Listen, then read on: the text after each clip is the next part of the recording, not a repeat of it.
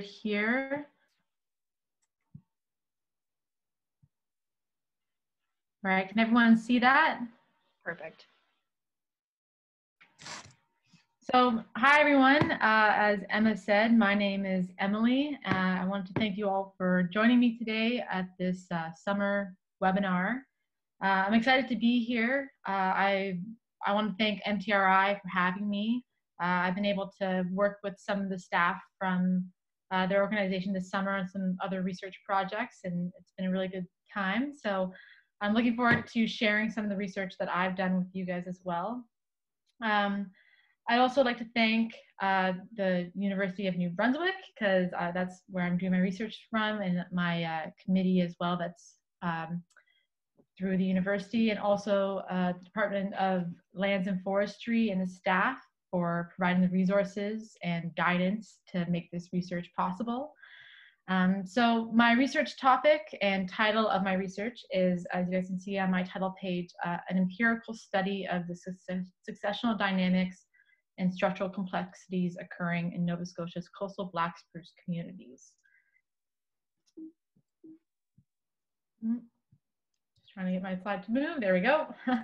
um, so a little outline uh, before we get going. I'm gonna do a little introduction mostly to uh, forest succession and development. Uh, I, I, imagine there's a scale on here from people that have a really good understanding of uh, ecological processes that occur um, but then I know people that are on here as well, that my friends and family, that uh, they have very minimal knowledge and background. So I just want to have a brief introduction to um, uh, forest succession.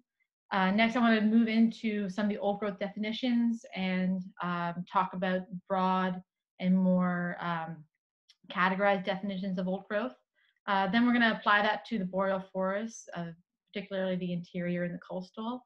Uh, then we'll take more of a dive into the coastal boreal and the natural disturbance regimes occur occurring in uh, that forest type. Then we'll look at my research statement, my research design, and moving, moving forward, what I'm hoping that this research will uh, provide for uh, the future. So without further ado, let's get on. Um, so succession, um, second, me get my, my notes.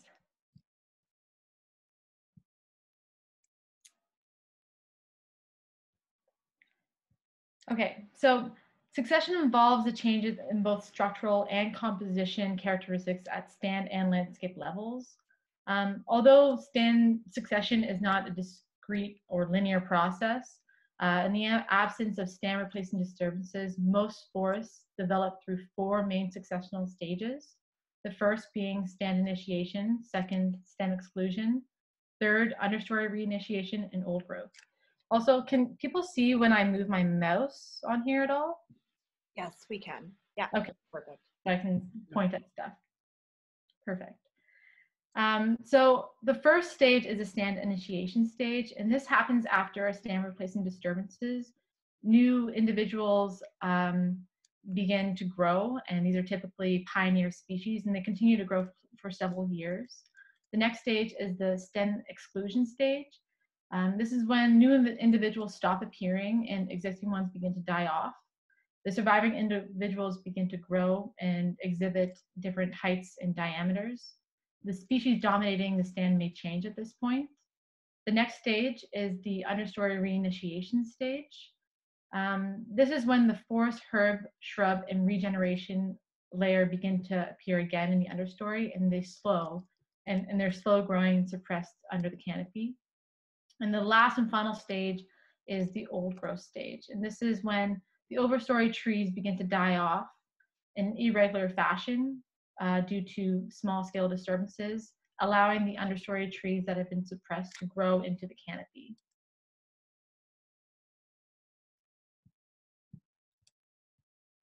The beginning and, and end of each of these stages differs across regions and forest types and is heavily reliant on the A, the forest type and the disturbance type and frequency. Um, typically, forests develop through two main developmental pathways. The first is uh, even age stand structure, and the second is uneven age stand structure, which we will get into in the next slides. So even age stands are more widely understood because the, the process is less complicated than the under uneven age stand. Um, through this process, a stand is initiated by a major disturbance or maintained by um, allowing the remaining or maintained through minor disturbances. Um, through a major disturbance, all the dominant trees are replaced, um, allowing a new cohort to grow. In the case of minor disturbances, um, few trees dry off, die off. However, the present trees dominate the newly created space, resulting in the single cohort uh, dominating the overstory. And that's why it's also referred to as a single cohort stand structure. The next is uneven age stand development. Um, this occurs through minor disturbances. Through these minor disturbances, gaps are created, allowing uh, the suppressed trees, like down here, uh, to fill into the openings. Therefore, there are multiple uh, cohorts from different disturbance, disturbances occupying the canopy. Um, this process is called gap phase dynamics, uh, and I'll be referring to this process or this mechanism throughout the slideshow.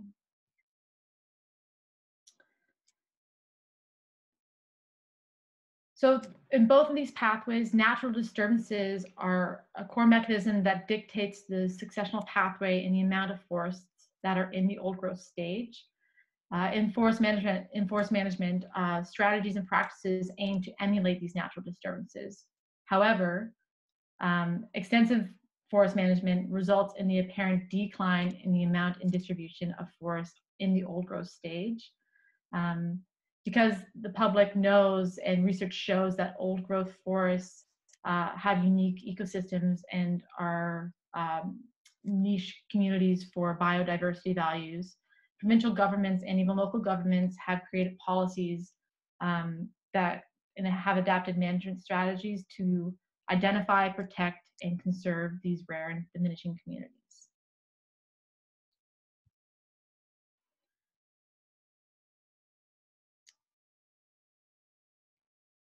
Um, so research, recent research has focused on um, specific flora types in certain regions. In Eastern Canada in particular, um, lots of research has been looking into Quebec and Ontario boreal forests, which I'm going to refer to as the interior, interior throughout the, um, throughout the presentation. Uh, however, there hasn't been much research conducted on the maritime boreal forest, which is located here in Nova Scotia along the Atlantic coast. So Currently, we have a knowledge gap in the successional development of boreal forest lake located directly along Canada's maritime coast.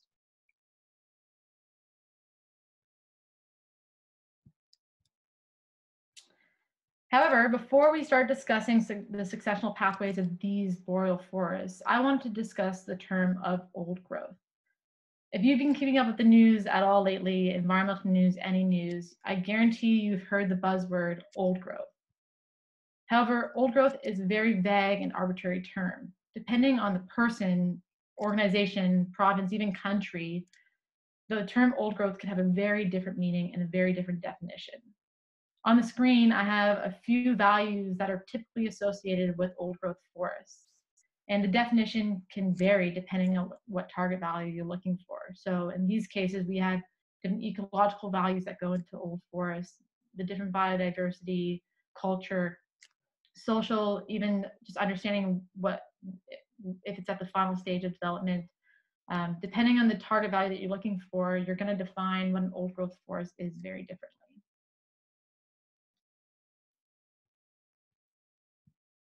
So in general, there are very broad definitions that go with old growth forests. These include definitions of being free of human disturbance or having pristine or virgin conditions or being in that final stage of the stand development as we talked about in our successional prop in our successional pathway. However, these broad definitions make it very difficult to distinguish when a forest is old growth or when it's not old growth.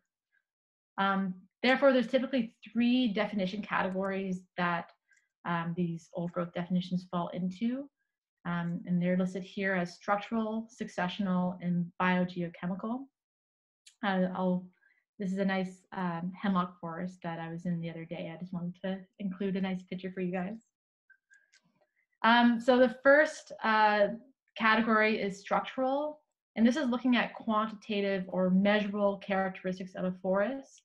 Um, typically, age is correlated with these structural characteristics, and a lot of the structural characteristics are listed here uh, in bullet point notes. So looking for old trees, uh, looking for large trees, looking for the abundance of large logs, abundance of snags, an increase in species composition, multiple layers, um, measuring the structural complexity both horizontally and vertically on the landscape, um, identifying and measuring the gaps and patches that are there, along with numerous structural characteristics that you can measure in a forest. Uh, in this case, my supervisor, Peter Bush, is, was measuring a big red spruce tree. Um, so based on these definitions, a lot of the times these characteristics are associated with age, um, and age can be used as a proxy to determine when these types of characteristics are um, can be identified on the landscape. Uh, the next way that um, old growth forests can also be defined is through a successional definition. Um, this is more process-based definition um, that can be used to identify both structural but more ecological complexities that are, are occurring on the landscape. Um, in that, in this case, um, measuring, uh, identifying when the gap phase dynamics or tree replacement is occurring, um, when climax for, uh, species are dominating the forest, um, when it reaches that stage of stand development, um, and even identifying when uh, stand age exceeds the lifespan of species. Um, typically, these process-based or successional uh, definitions um, use forest modeling to uh, identify when a forest reaches these different thresholds.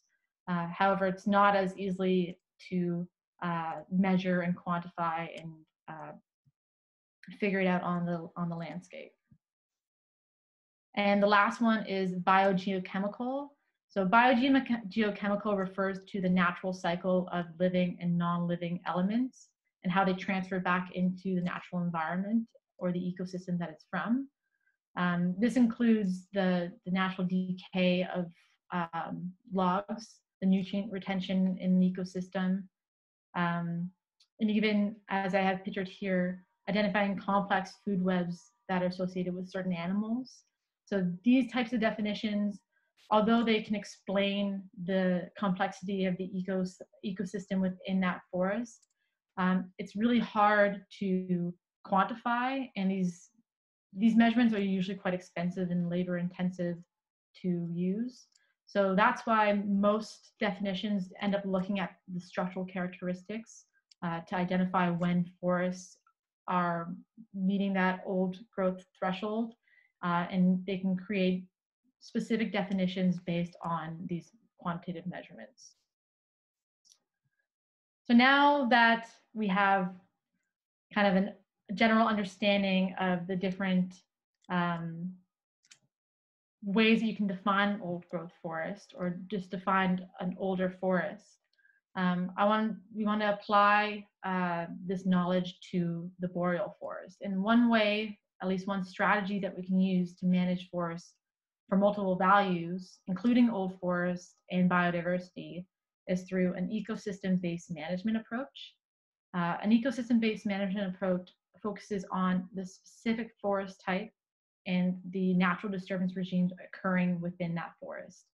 So when referencing the boreal forest, there's typically three main disturbances that um, are part of the natural disturbance regime. The first is fire. The second is spruce budworm, and the third is our, our wind events. Um, so I'm going to be talking about these three, um, the, the major disturbances that are occurring within the interior boreal and as well as the coastal boreal.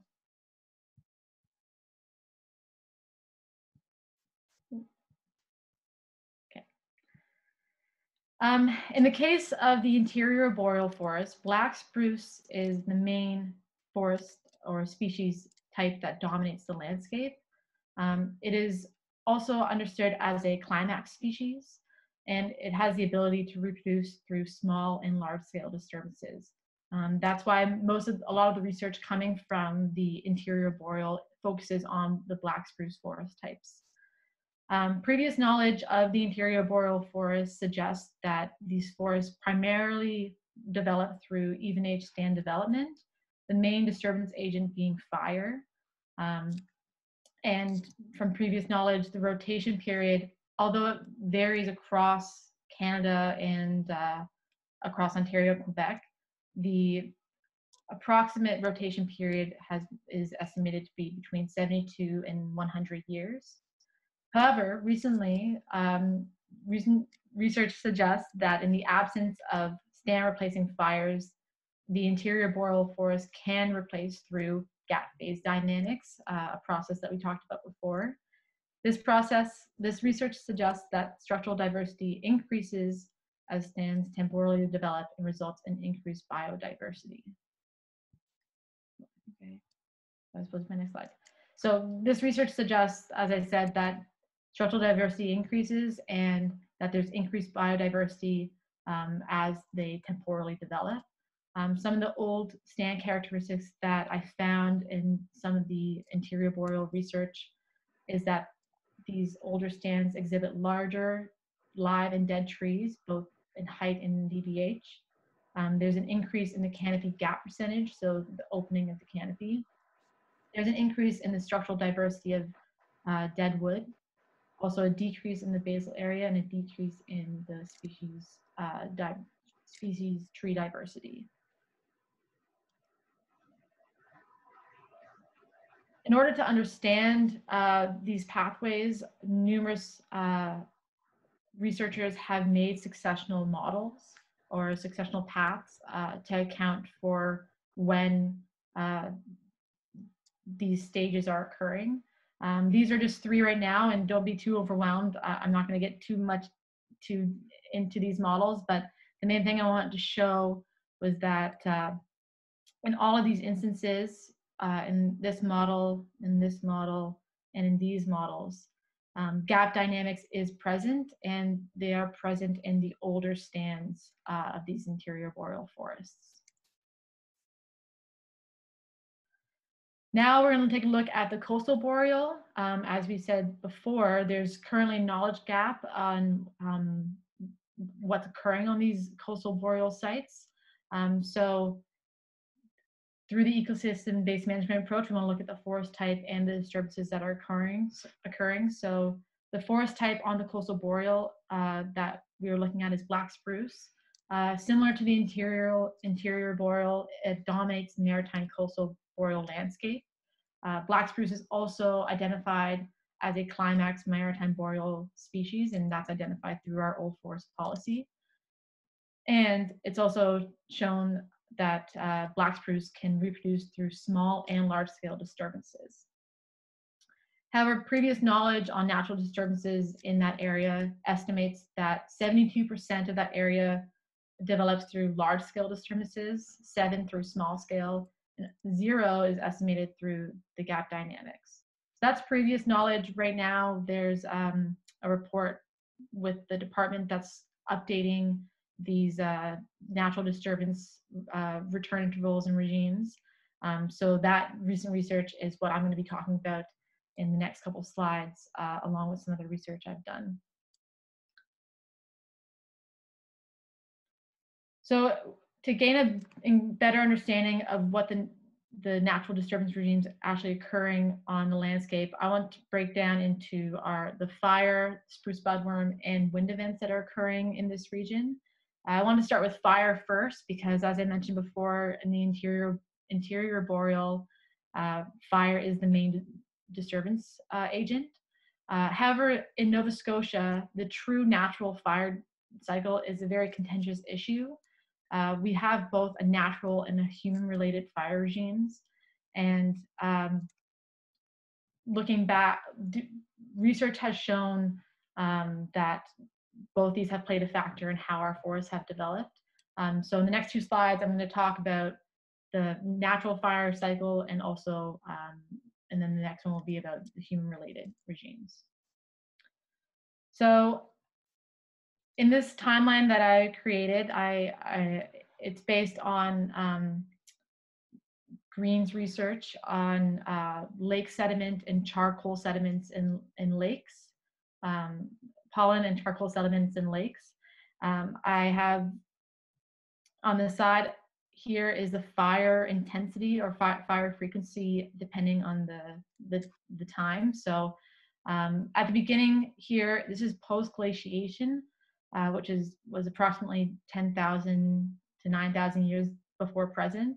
Um, and after the glaciers occurred, uh, spruce and fir and more conifers dominated the landscape.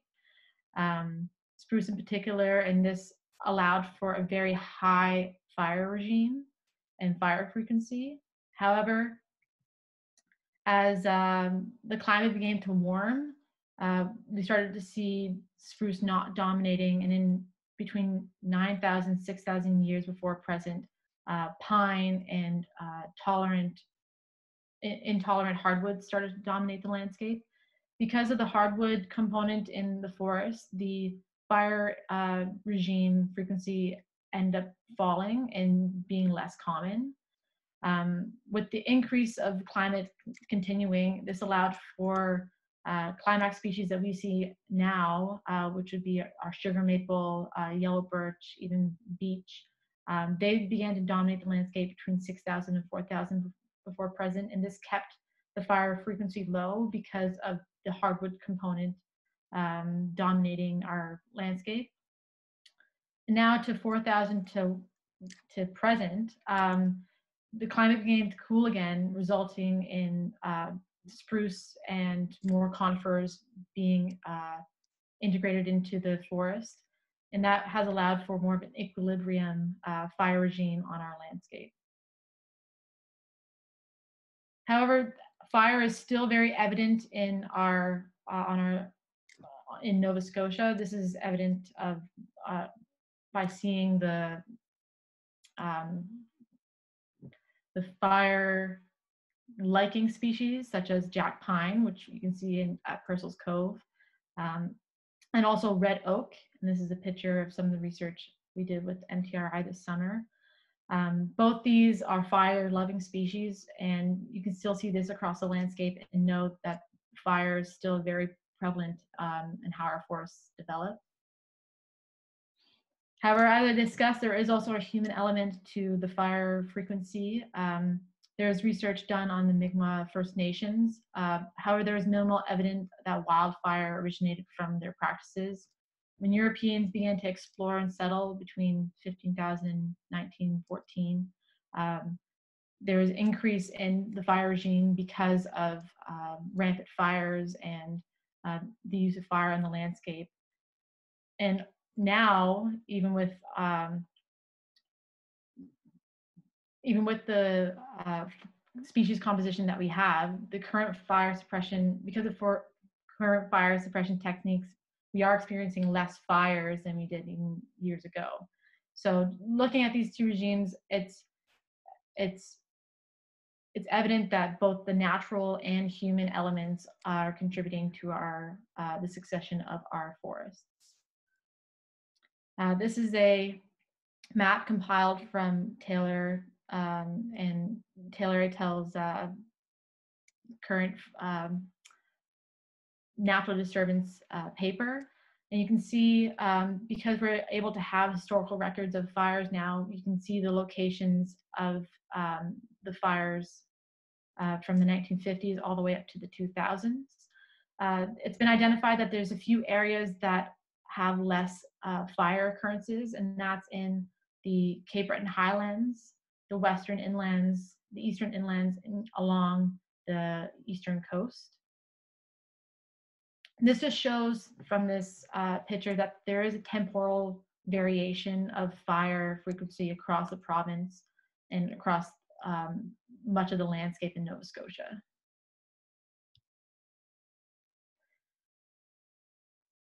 And in terms of the fire return interval or annual percent of fire that we see, there's been numerous research, numerous research that has been done on uh, the frequency of fire in Nova Scotia. Um, if you look at the first line here, it, uh, Fresnel, he estimated that the return intervals was around 500 years, um, with estimates up to 2,000 years. And the most recent estimate, which is the last one here, estimates that uh, the return interval of uh, fire on the landscape is approximately every 600 years.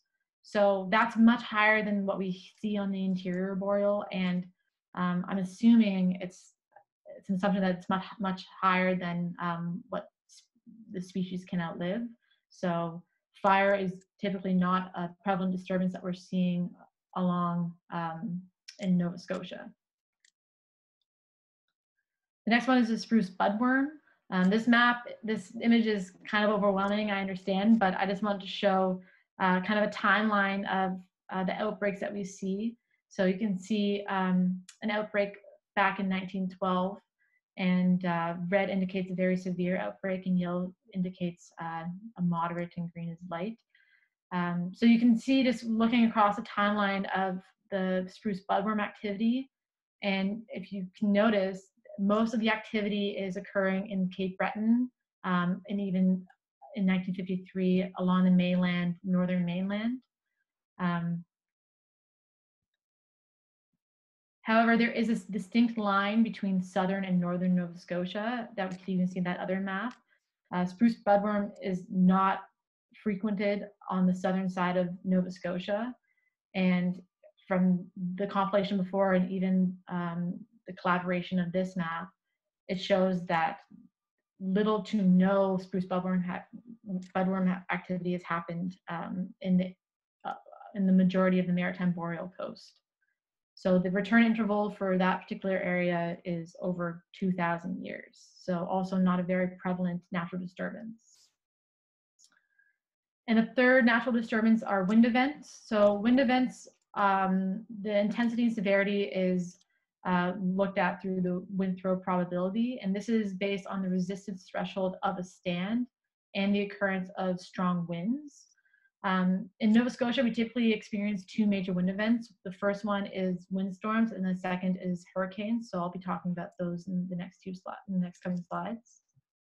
So in this, in the case of windstorms, windstorms are wind events that have that experience 50 to 100 kilometer hour winds um, they're usually defined as extratropical cyclones or also known, I know a lot of times in Nova Scotia as nor'easters. Um, and they're also tropical, can be defined as tropical storms. Um, 27, I forget exactly before, I forget when I said that the 27 tropical storms, but um, recently there's been 27 tropical storms, averaging approximately one every four years. Uh, the most recent one was Dorian in 2019 with sustained winds of up to 65 kilometers an hour. Uh, the table below uh, is a compilation of the information in uh, Taylor et uh, article, and it shows that for high, moderate, and low severity, there's different intervals return and mean annual disturbance rates depending on the severity of the wind. Um, so high severity, which is having more than 60% of the down tree mass occurring, occurs only every five, approximately 5,000 years. And that's the same for moderate, so 30 to 60% of the down tree biomass. But we see here for low tree biomass, which is 5 to 30, uh, the return interval is only 71 years or 1.4 uh, mean annual disturbance, which is um, much more common than every five 5,000 years. And then in the case of hurricanes, hurricanes are defined as um, a wind event that's greater than 104 kilometers an hour or sustained winds of 119 kilometers an hour. Uh, they can be categorized uh, into five categories based on Saffir and Simpson's um, categories. Uh, between 1919 and 2018, uh, we experienced 13 SS1 and SS4 and four SS4 hurricanes, equaling out to approximately one hurricane every seven years. Um, here is the an image from Taylor al.'s paper again, uh, showing the tracks of these different hurricanes coming across Nova Scotia. Um, the most recent her uh, SS2 hurricane was Hurricane Juan, which um, created lots of destruction both in the city and in our forested landscape.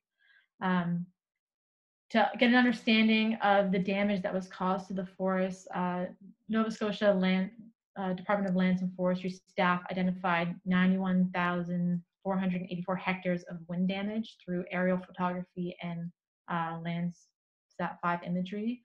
And similar to the wind storm, I contemplated uh, Taylor Tells information into uh, this table. Um, and similar to before, we have high, low, high, moderate, and low severity.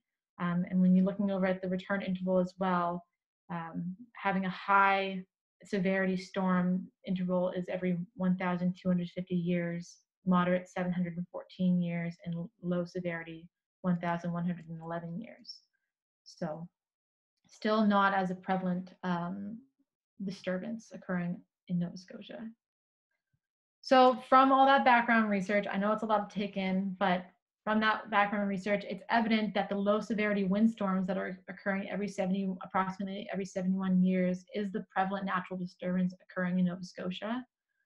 From this, I created a hypothesis, and my hypothesis is that gap phase dynamics is prevalent in this area, resulting in uneven age stand develop stand structure and increased structural complex complexity as stands temporally develop.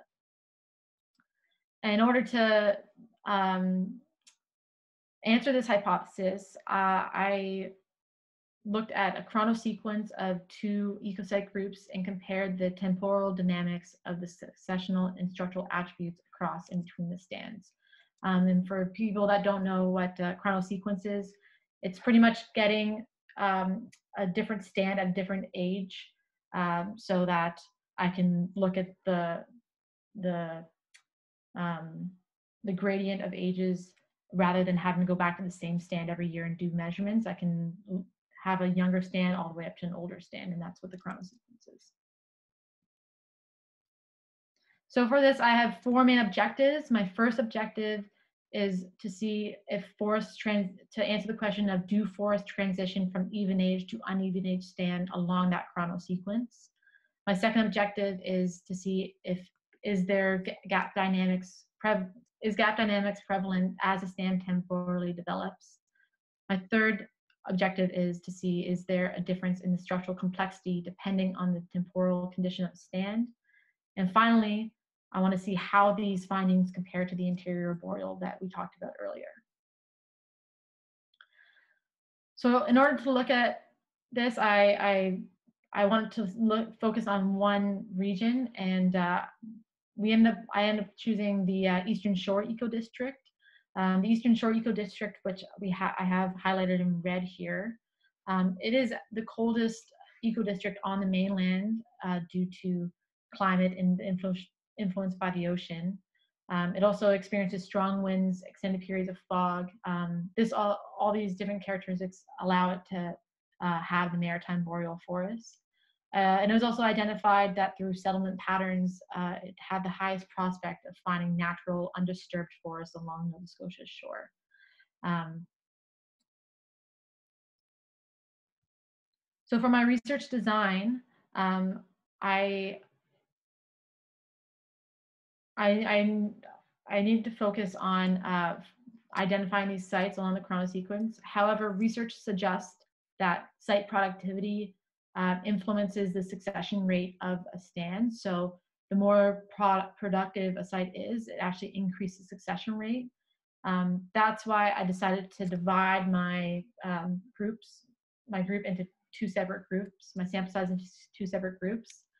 Um, and this was distinguished by distinguishing ecosites. So ecosites are identified as units that share similar site productivity based on moisture and nutrient regimes.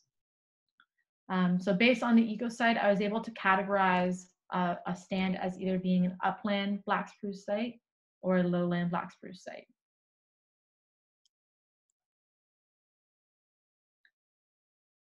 From identifying that I need two separate stands. I then needed to find my stands. Um, my stands were then identified through using uh, PSP data, which is permanent sample plot data, um, FEC forest ecosystem classification data, our forest inventory data through Nova Scotia, and historical re- records and local, local knowledge of the area. Um, my once my stands were identified, my plots were then determined through a systematic site selection approach. And this would allow for my stands to be um, replicates that uh, cover systematically cover the entire stand. So through this method, I end up having a nested uh, research design. Um, so I have my each of my groups has 10 stands, and for each of those 10 stands, I have three plots, equaling 30 plots total for um, each of my groups, and um, resulting in my sample size being 20 stands and my replicas being 60 replicas.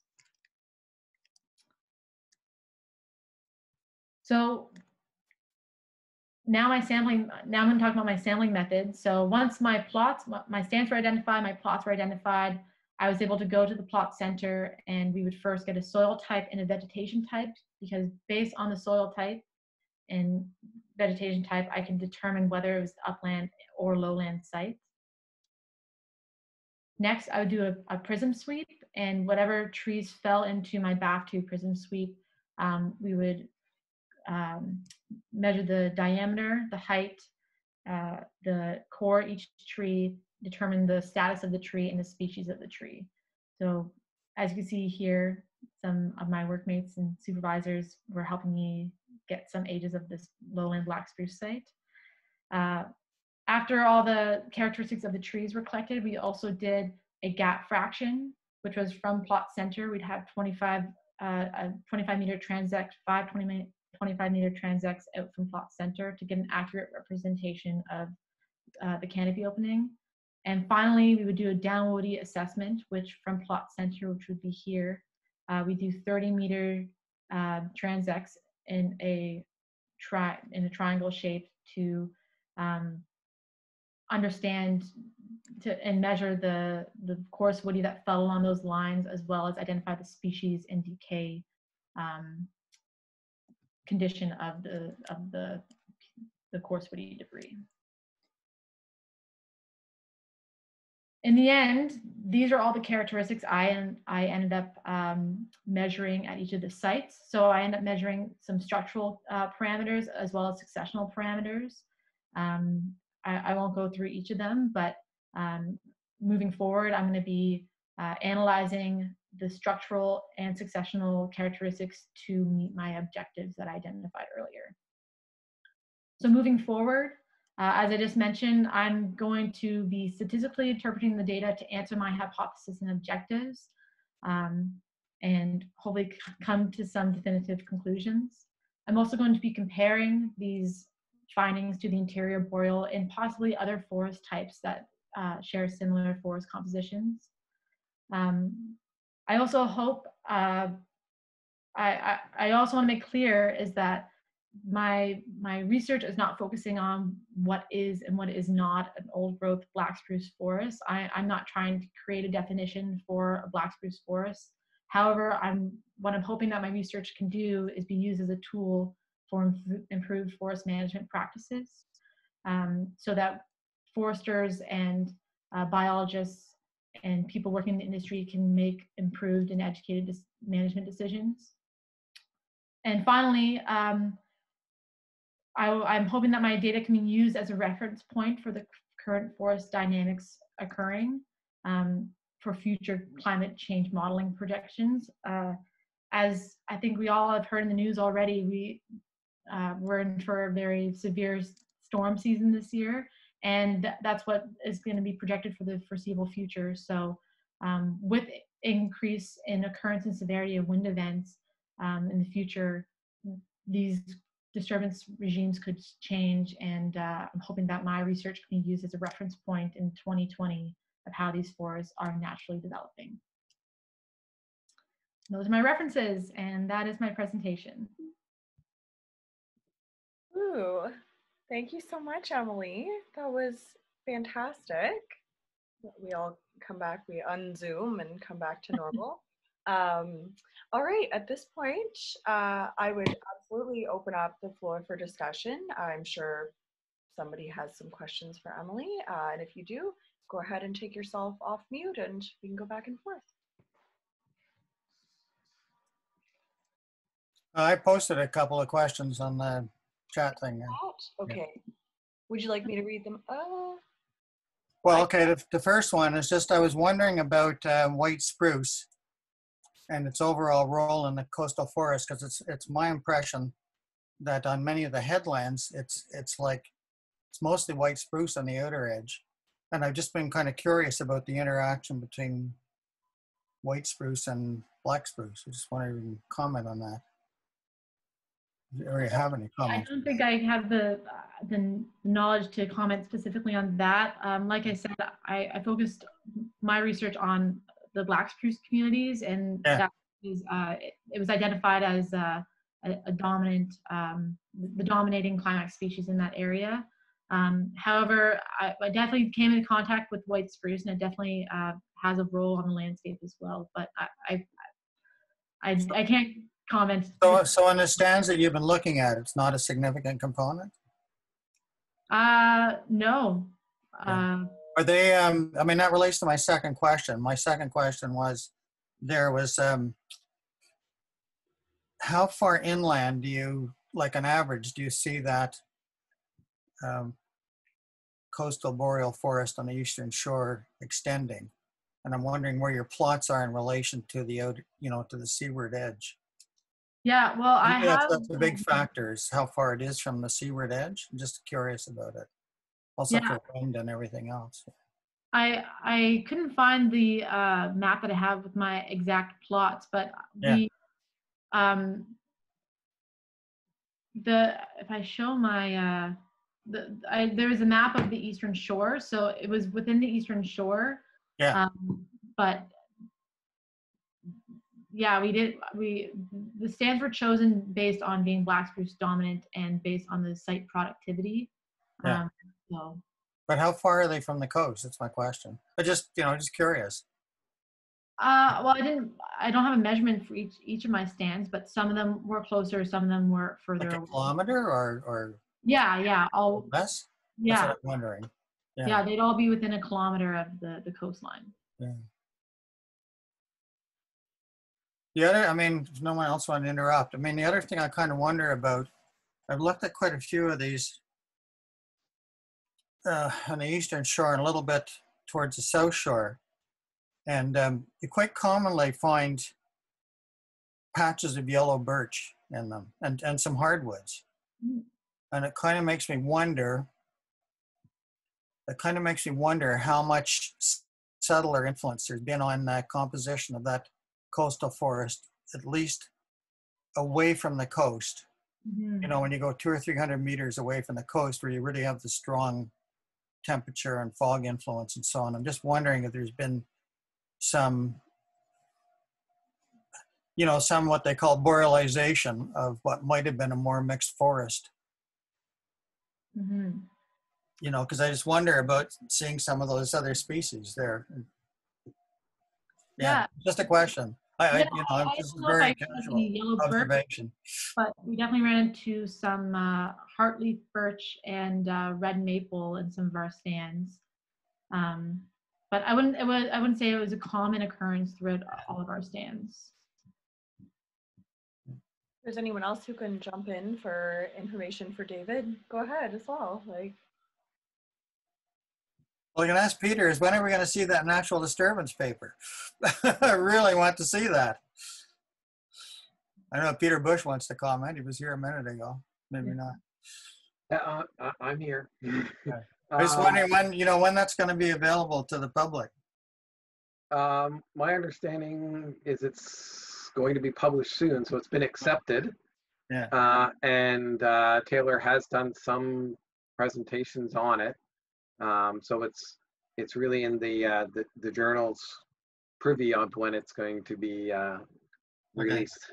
Um, I, I, I, I can ask uh, Taylor and see what uh, if he has a, an exact deadline. I'll get back to you. Okay, thanks. Here, just- I've got a, Yeah, that's this is John Brazner. I, I was just uh, in a meeting that Sean Basquill, who I believe is a co-author on that paper, he was thinking it was going to be in September. Yeah. The, the last they heard from the journal. Yeah. That's what I'm expecting, hoping to see it, yeah. Yeah, well, it's up to the journal. You know, there's not much anybody can do about the timeline except wait for them to get it out.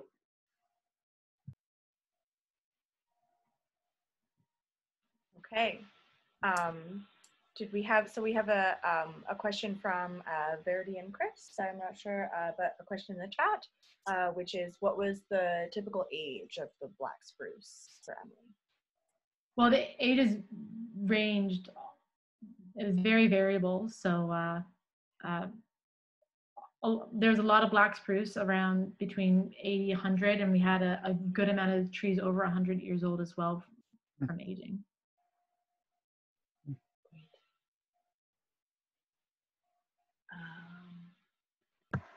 Did you find a difference in the lowland versus upland in terms of, like, I'm, I'm not just talking about age, but in terms of the DBH relationship with age? Were you finding smaller trees in the lowlands uh, at older ages? Um, well, that's kind of part of my results right now. So I, I'm still currently working on my results and my statistical methods to interpret that. So I'm hoping to get that information uh, in coming in the next month or two. But that I don't think that's something I can comment on right now because it's it's not definitive and I haven't been vetted of uh, how it is. For my eyeball, uh, it's hard to tell a few centimeters here or there, but uh, yeah, just waiting for my results. Okay, thanks. Yeah. Thanks, John. Any other questions for, uh, for Emily on the presentation or surrounding old growth forests or succession in general? I had a question about the um, kind of the definitions for old growth forests that you were you were talking about at the start, and and thank you also for for that presentation. I feel like, um, you know, someone who has not studied forests extensively, I learned a lot. It was really it was very interesting. Thank you. Um, you mentioned uh, biogeochemical uh, as like a technique for determining if a forest is old growth or not. And I just wondered, you kind of mentioned it was like very expensive compared to the other techniques, and so it's not kind of used as much. But I wonder if, like, do you have any more details? Like, I've, it's something I've not really heard about the biogeochemical aging of forests, and like, what what types of things happen? Like, why is it why is it so expensive? Well, if so, the one example I had there is the complex food web. So if you wanted to actually determine if a food web was really complex, you'd have to go and uh, survey the different animals and the different types of species that are in that unique web. So just from that labor-intensive tracking and researching the diversity of animals within, within the ecosystem is quite labor-intensive.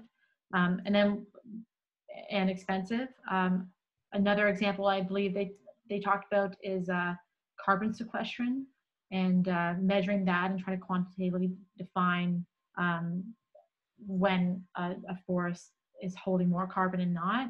So it's it's just it's more labor intensive and expensive than like measuring the structural characteristics. Um, and then yeah, so in the form of biogeochemical, they're just trying to use that as a definition of seeing when um, an ecosystem is get like um, let's say giving back into itself you know like when so for uh, a food web in that sense. So just you know one of the things that kind of mtri in general and you know me in particular we're really trying to get at is just having the public increase our knowledge of you know occurrence of species in different places and so is you know if we were really able to get you know a lot of public support for learning about the species abundance in different forests for example would it you know really be able to reduce you know the costs of that i guess and mm-hmm. compared to the other techniques like do you think that's a a more favorable way to so it suggested that a combination of all the techniques is probably the, the best way um, because you don't want to discount the structural characteristics because uh, bigger logs and snags and trees is also great habitat for uh, certain bird species and animal species. Um, so I, I think you kind of need a combination of all those different techniques to get a, a really good definition. But as I said before, your definition is going to change depending on what value you're really trying to look for. Right.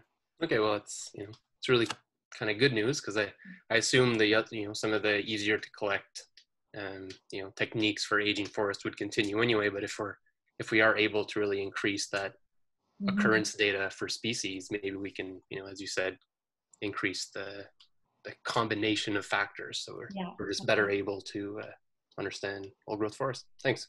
Really uh, really interesting. Mhm. I have one more question if I can ask it. Am I still there? Go for it. You're in. Yeah, I just, um, I'm curious about how much pit and mound topography you see, because I look for it in some of these coastal boreal forests. And I Mhm. haven't seen any convincing pit and mound topography. Have, have you seen it? Uh, I'd probably say no as well. Um, Because it requires usually trees like 150 years old and so on to, to make it. So it would be kind of inconsistent with them not reaching that age very commonly, I would think. Yeah, well, I, I only had the pit and mound uh, as just a, a characteristics that's seen in typical old forests. That's why I have a oh, okay. bullet point there. It's not one that I'm saying that you see Okay. all the time in boreal forests. Yeah. Um, but I, I, I, I would say no, but I also like I've been to the the 20 stands, so um, Yeah. Even though 20 stands is still Well, a lot. it's a of sample. It's good sample. I- I That's, that's, that's fine. It's, it's just, you know, just curious. Yeah. Just curious. Uh, and, the, and the other thing I often find in those coastal forests, I mean, they're often on quite shallow, rocky soils and Mhm. stuff. So Yeah. kind of hard to distinguish, you know, good pit and mound from if it's a rock or if it's an old yeah, tree. everything else. So no, it's just it was curiosity question. Mhm. Thank you. Good Thanks. presentation. Thank you. And your your question did come up in the chat there, just very belated. Uh, so yeah, he had a big long question in the chat there. It's great. Yeah. Um, yeah. um, okay. Uh, we have one more question. Uh, so it's: Do you think that black spruce? Uh, two more. Do you think that black spruce in the area of your study will be targeted less uh, due to the loss of northern northern pulp, as there will be less demand for pulpwood? I, I don't know. Um, that's, I guess that's not really my study or, or, or anything, but um, it's kind of hard to project that because, um, yeah, I, I would say I don't know. I, I wouldn't be able to give my expert opinion in that. That's a fair assessment. It's a, it is a large scale question. We are, yeah, Northern Pulp, who knows? Um, and uh, Ryan McIntyre says, uh, do you plan to expand your study to boreal forests outside of Nova Scotia? I would very much love to. Yeah, that'd be um, it'd be really cool to see how the dynamics in other forests compared to what we see here in Nova Scotia, and even compare it to once again the research that's been done in uh, Ontario and Quebec. Yeah. Yeah, it is interesting. It's special that we're in the little hurricane path here, and that can Yeah, things significantly. So absolutely. Yeah. Interesting. Okay, I'm going to do one last call for questions, and then we're nearing our uh, hour mark. Uh, thank you so much, Emily. You it was a full presentation. Sometimes we're 20 minutes, and then it's time for questions. And I was expecting it to be 20 minutes, but I guess I was able. I just want to talk and I just keep talking. So. yeah, there you go. yeah, no, no problem. Okay, if no one has any other questions, then uh, I will say uh, we will wrap it up for today. Um, thank you so much, Emily, for doing this for us. Uh, this was really wonderful. Um, I will, I'll be, we'll be in touch afterwards. Uh, and just a general pitch to everybody else. Uh, next week, we're hearing from Ira Reinhardt Smith talking about uh, youth activism. Um, and we are also uh, in the time of climate change. So he does work uh, against climate change. And uh, our last week um, of the summer is the 27th, uh, Lobkun Rotville, and she's talking about high aluminum levels in uh, Nova Scotia's lakes and rivers. Um, so tune in for any of those. It's always the same Zoom link. Uh, yeah, and that's it for us. Thank you so much, and have a great rest of your Thursday. Thanks all. Thank you, everybody. Okay.